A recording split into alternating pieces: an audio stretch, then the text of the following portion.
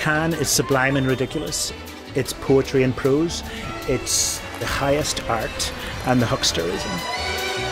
This is a glamorous, spectacular festival full of joie de vivre, but also full of discord and disharmony.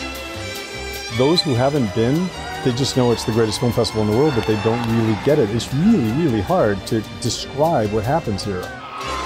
It's frenetic, it's noisy, it's beautiful, it's intoxicating.